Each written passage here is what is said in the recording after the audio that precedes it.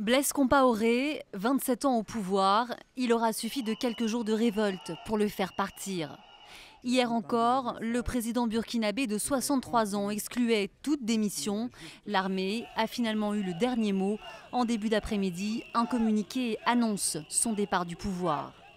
Dans le souci de préserver les acquis démocratiques ainsi que la paix sociale, je déclare la vacance du pouvoir en vue de permettre la mise en place d'une transition. Elle devra aboutir à des élections libres et transparentes dans un délai maximal de 90 jours.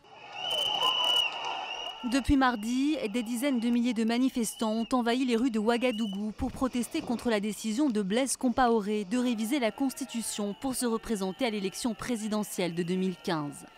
Furieux, ils ont pris la télévision publique d'assaut et incendié l'Assemblée nationale. Les violences ont fait au moins 4 morts et 6 blessés graves dans la capitale. Sollicité pour reprendre le contrôle du pays, le chef d'état-major des armées vient de s'exprimer.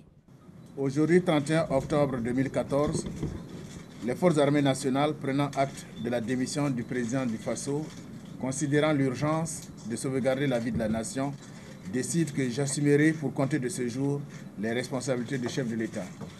Blaise Compaoré, lui, a quitté Ouagadougou et se dirige vers la ville de Pau, dans le sud du pays.